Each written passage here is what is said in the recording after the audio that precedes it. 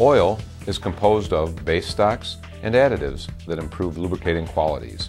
Each additive is designed to do one or more of the following.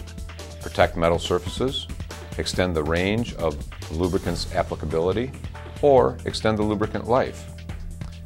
Surface protection additives include anti-wear agents, rust and corrosion inhibitors, detergents, and others. Extension additives include viscosity modifiers and seal swell agents. Life extenders include anti-foam agents and antioxidants to inhibit oxidation or boil off.